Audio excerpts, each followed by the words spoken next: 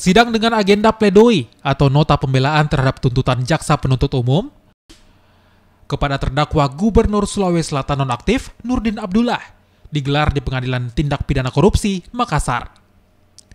Pledoi atau nota pembelaan sebanyak 879 halaman dibacakan penasehat hukum. Gubernur Sulawesi Selatan nonaktif Nurdin Abdullah yang turut membacakan pledoi berharap majelis hakim dapat membebaskannya dari segala dakwaan dan tuntutan jaksa penuntut umum. selaku PH tidak bisa membuktikan eh, pasal suap yang dituntut atau yang didakwakan dengan pasal gratifikasi. Jadi memang eh, dalam hal ini kami tim penasehat hukum berupaya eh, membuktikan bahwa unsur-unsur secara hukum atau analisa yuridis kami menganggap bahwa unsur-unsur yang diterapkan dalam pasal-pasal yang didakwakan atau dituntutan itu tidak memenuhi unsur.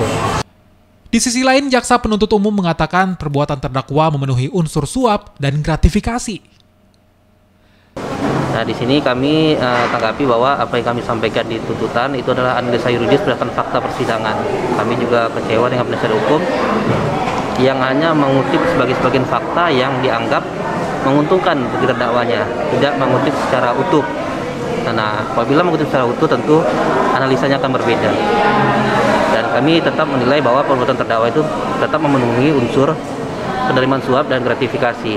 Gratifikasi tadi disampaikan bahwa itu untuk uh, sumbangan masjid dan lain-lainnya mungkin sama-sama kita pernah dengar di persidangan kalau sumbangan tentu tidak ke rekeningnya atau tidak ke pribadinya Nurdin Abdullah tapi ini diberikan ke Nurdin Abdullah melalui Samsul Bahri Sidang lanjutan dengan agenda vonis kembali akan digelar pada Senin 29 November mendatang.